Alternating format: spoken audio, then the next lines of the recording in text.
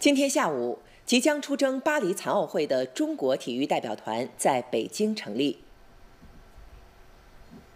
巴黎残奥会中国体育代表团总人数五百一十六人，其中运动员二百八十四人，包括男运动员一百二十六人，女运动员一百五十八人，教练员、工作人员、竞赛辅助人员二百三十二人。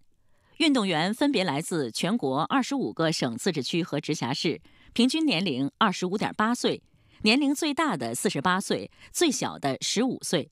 其中一百八十九人参加过残奥会，首次参加残奥会的有九十五人。巴黎残奥会将于八月二十八号至九月八号举行，这也是我国第十一次派团参加的夏季残奥会，共设二十二个大项，五百四十九个小项。